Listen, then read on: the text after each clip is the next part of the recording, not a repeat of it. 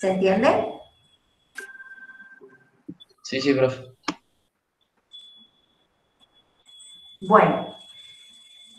Eh, no, fíjense que yo dibujé todo dentro de la misma planta. En el trabajo práctico les vamos a pedir eso, que no hagan el racimo por un lado, el fruto por el otro, la flor.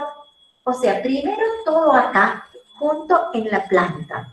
Por eso es integrador. Después supónganse que aparezca una formulita de una flor, bueno, eso irá abajo en otro punto. Pero como estructura tiene que estar la planta entera, con sus raíces, sus tallos, eh, las partes de las raíces, las partes del tallo, la hoja, las partes de la hoja, las ramas y ramas vegetativas y ramas reproductivas en el caso del racimo. El racimo, o supónganse que, les pide que, no sea un racimo, que sea una, una umbela. Bueno, en lugar del racimo, dibujo la umbela. ¿Está bien? Profe. Por la esencia que pida. Bueno, si no hay dudas con esto. Sí. Hay alguien que te quiere preguntar algo.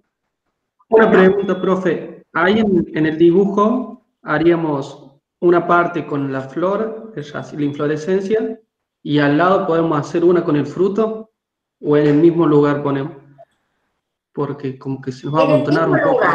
¿Por qué? Mira, Nico, pensa esto. Sí.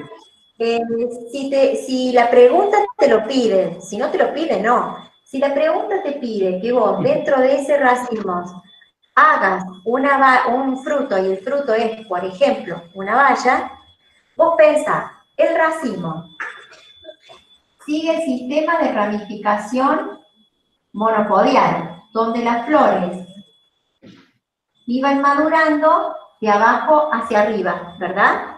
Entonces, la primera flor que te va a dar fruto es la que está abajo. Y así sucesivamente. Entonces, si yo tengo que dibujar un frutito en este racimo, dibujo bien en la base del racimo. Porque ese es el primer frutito que va a aparecer. ¿Está bien? Bien, sí. Y le pongo en ese caso el nombre, por ejemplo, de valla. ¿Está? O cápsula, o lo que sea. Pero ahí no hace falta que lo dibujen. Quizás esa era la pregunta tuya, Nico, ahora me doy cuenta. No hace falta quizás que lo dibujen con todas las partes, porque a lo mejor ahí sí se te va a complicar en ese dibujo. Vos haces un circulito pintado de otro color, ponerle fruto, y después ahí sí podés sacar una flechita y dibujar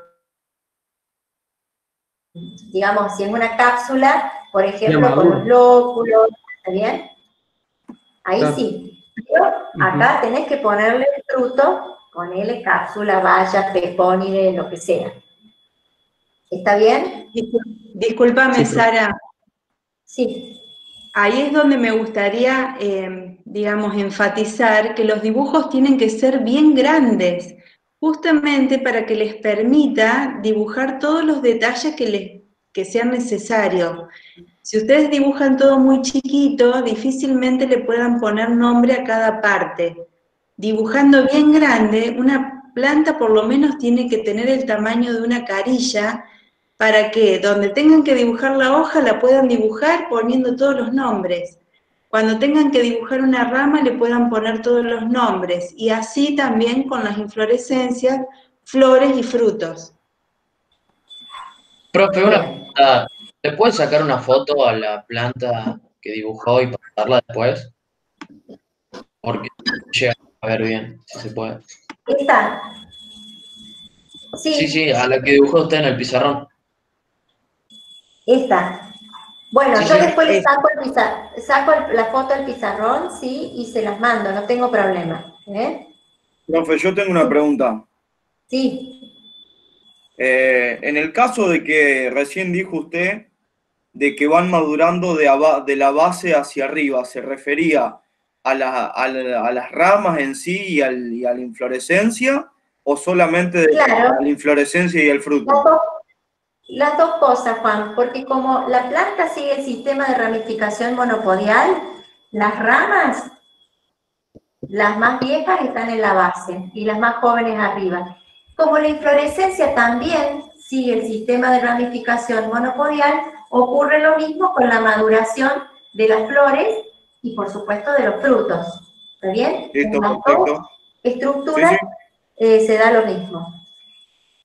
Yo lo que quiero eh, recalcar lo que dice Rosana de hacerlo en grande, no enloquecerse con hacer tantos nudos, con cuatro nudos suficientes, ¿está bien?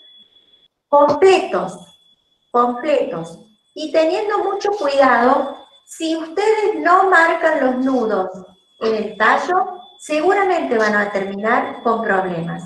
Lo primero es marcar los nudos, porque el nudo me indica que va a ir la hoja, y la hoja me indica que va a estar la yema, si es chiquito, o ya la rama, si ha desarrollado. Entonces es importantísimo el nudo. El nudo es el punto de partida para dibujar el resto de la planta en la parte aérea. Nudo, hoja y yema o ya la rama. ¿Se entiende? Una vez que yo armé eso, es muy simple. Es sencillo, van a ver que no van a tener problema. Primero el nudo, la hoja axilante y luego la yema o la rama si esa yema ya creció. Y si la rama es vegetativa, es simplemente repetir lo mismo que el tallo principal. Y si es reproductiva, tendré una inflorescencia. Esa inflorescencia puede que ya tenga algún fruto. O puede que tenga una, una flor sola y no tenga ninguna inflorescencia. ¿Está bien? Si por ahí Profe, hay alguna planta que tiene alguna modificación, por ejemplo, una espina, o por ejemplo un zarcillo. Bueno, yo tengo que fijarme bien si el zarcillo que me están pidiendo es caulinar, quiere decir que el zarcillo va a tener que reemplazar a la rama. Entonces fíjense lo que hago con la mano. Saco la rama y pongo el zarcillo. Simple un zarcillo caulinar. ¿Qué hace? Si es caulinar, viene de tallo. Entonces, ¿a quién reemplaza? Al tallo. Al tallo principal no lo va a reemplazar, pero sí al tallo de las ramas. Entonces, saco esta rama y pongo un zarcillo. Si en cambio fuera un zarcillo foliar, lo que me están pidiendo, yo tengo que quitar la hoja. Por ejemplo, Cualquier hoja puedo quitar. Por ejemplo, decido quitar la hoja axilante. Saco la hoja axilante y hago el zarcillo. Y listo. Foliar es hoja. Se modificó la hoja. Caulinar se modificó el tallo. Entonces me pueden pedir un zarcillo, me pueden pedir una espina, caulinar, foliar. Bueno, si es caulinar, saco la rama y pongo la espina. Si es espina foliar, saco la hoja, pongo la espina. ¿Se entiende? Sara, Sí. Mariana te quiere preguntar algo. Sí, Mariana, te escucho. no, eh, digamos, cuando nosotros hacemos el dibujo, es necesario tener absolutamente todo lo que decía usted, eh, eh, por ejemplo, de la, de la um, flor, digamos, ponemos una flor abierta, un fruto, un- o directamente Lo que te pide. A ver, Sofía. representación general. Eh, Listo. Ahí está. Mira, Sofía, la consigna te va a ir indicando qué tiene que tener la planta.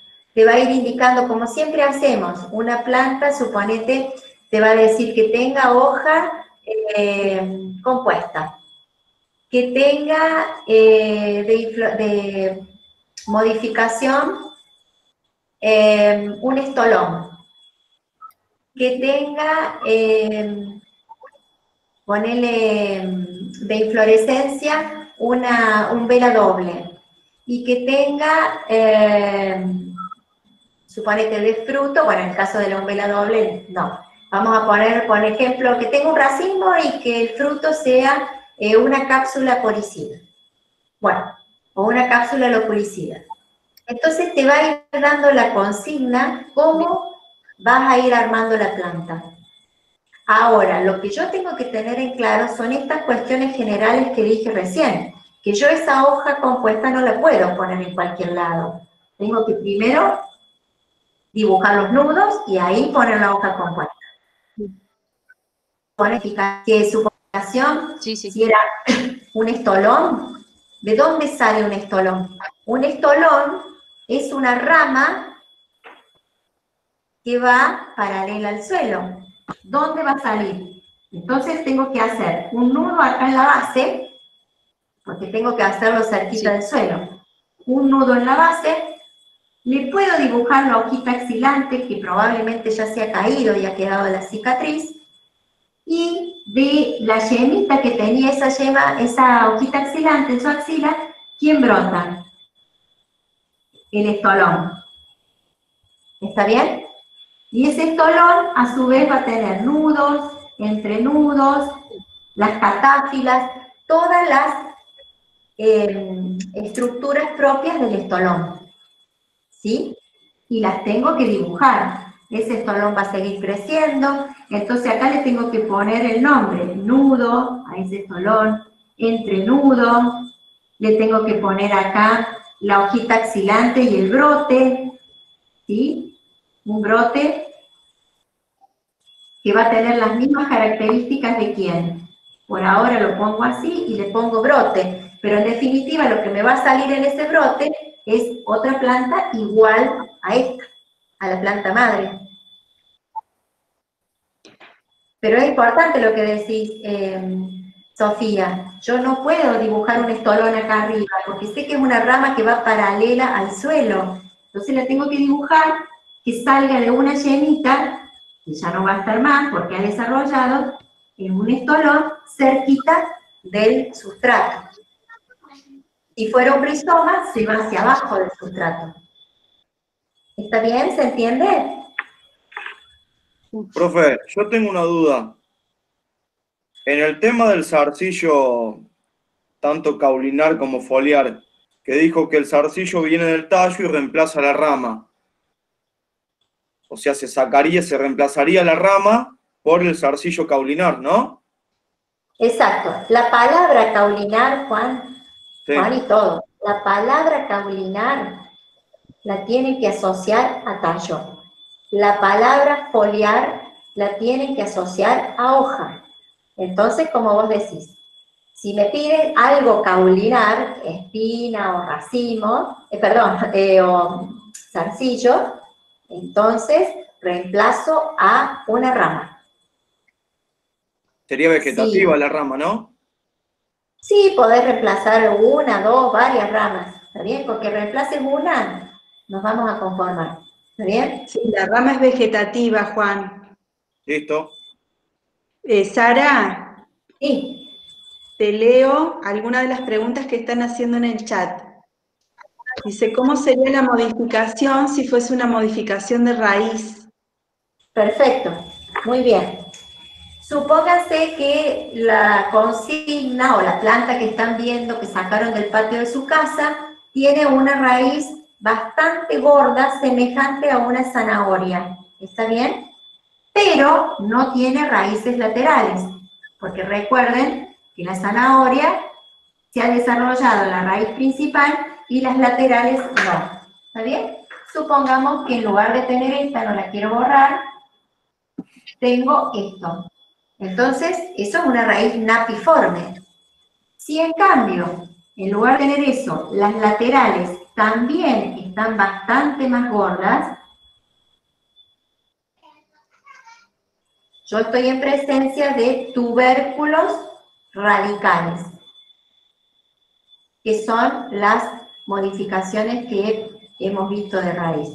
¿Sí? Una raíz napiforme o un tubérculo radical. ¿Qué diferencia hay entre una raíz napiforme? La napiforme es solamente la raíz principal, la que se modifica. Las laterales, vieron que las zanahorias no tienen hacia el costado raíces laterales, se pierden, se secan, no se desarrollan, queda solamente la principal. Mientras que los tubérculos radicales, tanto la principal como las laterales, o si fuera una monocotiledonia, todas las adventicias, tienen sustancia de reserva y se vuelven gorditas. ¿Está bien? Entonces la modificación la hago acá, en la raíz. Sara, otra pregunta en cuanto a modificación. Dice, ¿cómo sería si tiene bulbos? Bulbos. Bien. En general, los bulbos los podemos trabajar para las monocotiledóneas. ¿Está bien? Eh, ¿Por qué digo esto? El bulbo es una modificación de hoja, ¿está? Y generalmente no les vamos a pedir bulbo acá porque quedaría como bastante más complicado para rehacer. El bulbo se va eh, consumiendo a medida que la planta crece. Entonces, si yo tuviera que dibujar un bulbo que dio origen a esta planta, posiblemente el bulbo ya no lo tengo más. ¿Está bien? Pero en ese caso lo que podrían hacer es lo siguiente, comenzar a dibujar desde el bulbo. Voy a, voy a dibujarlo acá, después lo voy a borrar. ¿Se ve ahí si lo dibujo? Sí, sí, se ve. Hacemos, supongamos, un bulbo tunicado. Tenemos el tallito y tenemos las raíces. ¿Dónde estaban las yemas de este bulbo? Las yemas, estas eran hojas, y las yemitas estaban en la axila de esas hojas. Entonces, esas yemas son las que van a brotar, ahora las voy a hacer con negro, ¿por qué? Porque si brotaron, ya no quedan más, no están más, entonces las voy a borrar, van a brotar y van a aparecer las hojas nueva. Fíjense que es una estructura de planta totalmente distinta a la que venimos viendo. ¿Está bien? Yo acá exageré un poco, hice brotar a todas las yemas. Y estas hojas, como normalmente los bulbos son de monocotiledóneas, que las vamos a pasar a ver ahora, van a tener vaina, van a tener lámina. ¿Sí? Van a tener otro tipo de nervadura. Y acá me va a quedar el tallo, que era discoidal, me van a quedar las raíces, que son adventicias, con el sistema radical o morrizo, me van a quedar las catáfilas, que eran las hojas, y en su axila tenían yemas que brotaron y dieron las nuevas hojitas es una estructura de planta totalmente distinta. Es muy raro que yo le pueda meter un bulbo acá. No les vamos a pedir eso. ¿Está bien? Les vamos a pedir modificaciones que queden coherentes con este tipo de planta. En el caso de una dicotiledonia. Ahí, por ejemplo, cuando nos pedirían un bulbo en las gramíneas sería un macoyo? No. Ahora voy a empezar, si estamos con esto, paso a explicar lo que es eh, gramíneas. antes que avances, Santino pregunta cómo, antes de que avances, Santino pregunta cómo dibujarías una cápsula loculicida. Bien, Santino, yo primero tengo que asociar, la cápsula es una estructura reproductiva, o sea que la tengo que asociar con flores, porque la cápsula viene del ovario de una flor. Entonces, me voy a ir al racimo, donde tengo las flores. Y allí, yo en este caso lo dibujé chiquitito, hice una valla, pero vamos a cambiarlo y vamos a poner, entonces, una cápsula. Cápsula loculicida. Y entonces, ¿cómo la dibujo? Como lo tengo ahí chiquitito, Rosana ya les dijo que ahí mismo hagan un dibujo grande y ahí mismo la hacen. Yo la voy a hacer al costado porque me queda muy chiquitito y ustedes no la van a ver. El pizarrón que tengo es chiquito. Pero ¿cómo la dibujamos? ¿Cómo dibujamos el crespón? Fíjense, el crespón es un ejemplo, si lo tienen en la casa, lindo de cápsula loculicida, porque yo puedo mostrar los carpelos que lo están formando y puedo mostrar acá cómo se abre, le pongo, miren, hago, ahí, ahí les muestro, hago con líneas de puntos los lóculos, digo lóculos, y con línea continua, septos.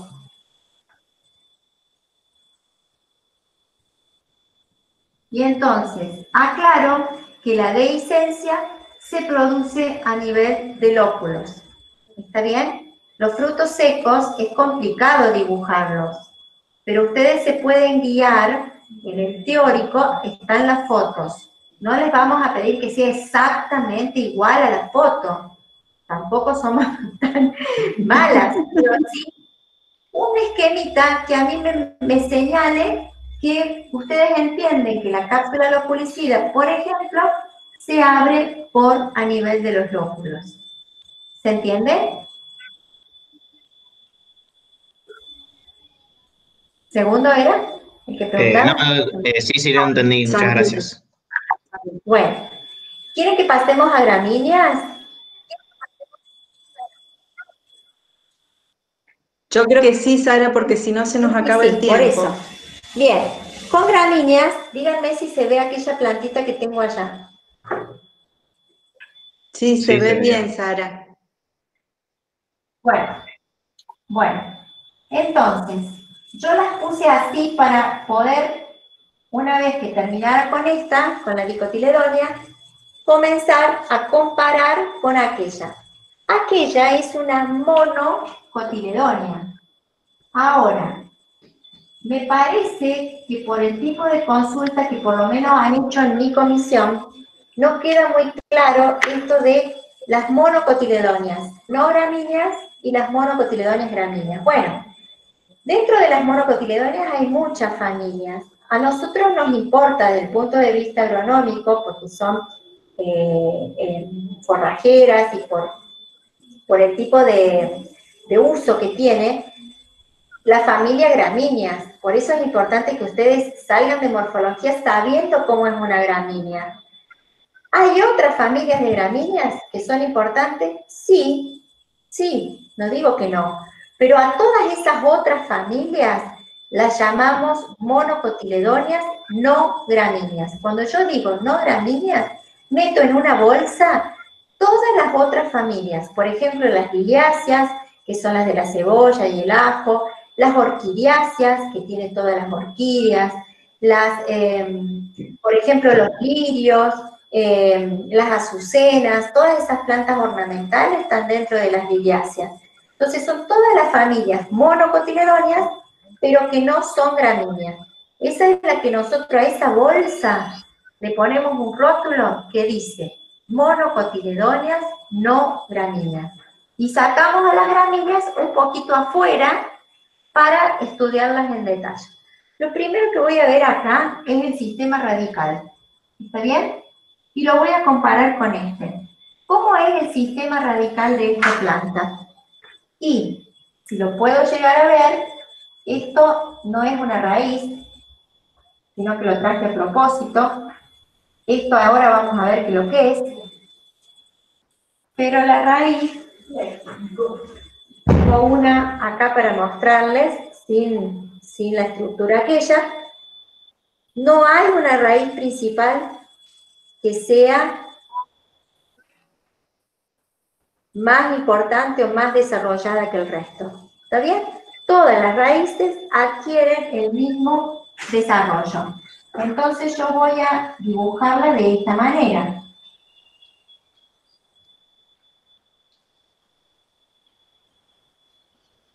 Si quiero, lo exagero el dibujo las hago a todas más o menos a la misma altura. Y entonces digo que estas se llaman raíces adventicias. Y ustedes ya están en condiciones de saber por qué son adventicias. son raíces adventicias porque se forman de cualquier lado de la planta, generalmente del tallo. Y si volvemos al tema plántula, ¿de dónde salían las primeras raíces adventicias del mesocótilo? El mesocótilo era un nudo cotiledonar que se estiraba y formaba un eje sobre los restos de la semilla. O sea que es un tallo, es un eje. Si lo tengo que comparar con algún órgano de la planta, es un tallo. De ese mesocótilo salían las primeras raíces adventicias. Entonces, después se siguen desarrollando, ¿está bien? Pero son adventicias porque aparecen de cualquier lado de la planta, generalmente del tallo. Y no vienen de la radícula del embrión. ¿Está bien? El sistema radical, entonces, es homo rizo. ¿Qué significa? ¿Originan de los nudos basales? Claro, las que siguen se originan en los nudos basales. Las primeras en el mesocótilo. Lo ah, podemos integrar con la plántula. ¿sí? Las primeras aparecían en el mesocótilo y después van apareciendo de los primeros nudos del tallo. ¿Está bien? Para seguir agregando más raíces. Y eso también va a depender. Una cosa es sorgo de Alepo, que es lo que tengo acá, otra cosa es maíz. Fíjense que en el sorbo de Alepo no hay ningún tipo de raíces que sean de anclaje ni nada por el estilo. Eso es de maíz. Esa es otra cosa. Y generalmente le hacen a todas las gramíneas raíces de anclaje. No, eso es solamente para maíz. Por el porte y el peso que tiene la planta. Un sorbo de Alepo no tiene nada de eso. Tiene raíces adventicias forman el sistema radical homorrizo y nada más. Lo voy a dejar ahí un ratito y después vuelvo para ver una modificación que tiene. La parte aérea voy a dibujar el tallo. Ese tallo, en general, yo no lo veo de afuera. ¿Por qué? Porque está envuelto por las vainas. Ese tallo, aunque yo no vea, le tengo que hacer los nudos. Y en este caso, la voy a dejar ahí, no voy a hacer más nudos, porque también la voy a hacer como acortadita para que me entre en el pizarrón. Ese nudo, yo sé, voy a hacer otro nudito acá, que las hojas de las gramíneas empiezan, por ejemplo, en este nudo, la vaina cubre todo el tallo y se va a abrir al llegar al nudo siguiente. Toda esta es la hoja. Yo sé que la hoja tiene vaina, que es la parte que cubre al tallo, y lámina. Y también sé que las gramíneas, como todas las monocotiledonias, tienen nervaduras de qué tipo? Paralelas. Tienen nervaduras tanto la vaina como la lámina. Nervaduras paralelas. Entonces, acá me voy a detener un poquito. Ya tengo tres diferencias entre las mono y las dicotiledonias. Primero, la cantidad de cotiledones de la semilla. Dicotiledonias 2, monocotiledonias 1. Segunda diferencia, sistema radical. Homorrizo, alorrizo en lipo. Tercera diferencia, nervaduras. En el caso de las, de las monocotiledonias paralelas de las dicotiledonias reticuladas.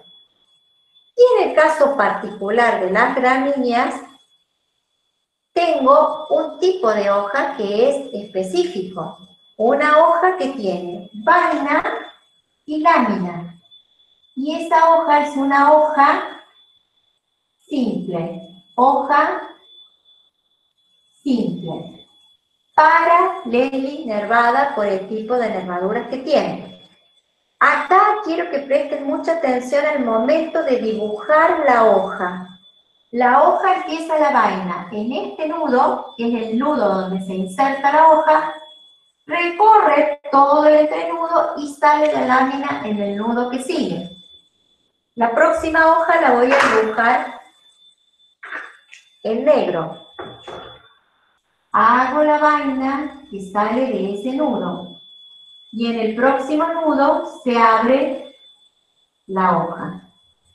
Profe, ¿podría explicar eso de nuevo? Disculpe. Sí, no hay problema. Acá dibujé dos hojas. Esta que sale de este nudo sería la primera hoja de la planta, sale de este primer nudo. Con la vaina envuelve el tallo y en el próximo nudo se abre a la lámina. Y acá dibujé la segunda hoja en negro, que sale del segundo nudo. Sale la vaina, envuelve y en el próximo nudo abre la lámina. Es decir, ¿qué tengo que tener cuidado cuando dibujo una monocotiledonia gramínea? Marco el sistema radical o morrizo. Hago el tallo y pongo los nudos. Otra vez, lo mismo. Los nudos me van a marcar hacia dónde voy. Luego, del nudo va a salir la hoja, como cualquier planta. Pero tengo que prestar atención que esa, esa hoja tiene un primer segmento, que es la vaina, que envuelve al tallo y después se va a abrir la lámina. ¿Sí? De cada nudo saco la vaina y abro a la lámina. En el medio, entre la lámina y la vaina, puede haber aurículas, puede haber lígulas, sí, no, ¿está bien? Si no les pide el ejercicio, no lo hacen. Pero ustedes lo, prestan atención cuando vayan al campo a ver los cereales, si tienen lígulas, si no tienen lígulas, si tienen aurícula, no tienen aurícula. Voy a seguir ahora, tiene más hojas esta planta, pero yo la voy a terminar directamente, les voy a mostrar la última, que es una inflorescencia, ¿de qué tipo? Bueno, la miro y digo, el ápice de esta planta agotó, se terminó, se desarrolló en una inflorescencia. ¿Qué es lo que pasaba con el ápice en el caso del maíz que terminaba en la panoja laxa masculina? En este caso no, hay una sola inflorescencia. Esta planta no tiene inflorescencias separadas. Bien, esta inflorescencia la miro y digo, a ver, las espiguillas son estas chiquititas que están acá. Bien, esas espiguillas están unidas por pedicelos más o menos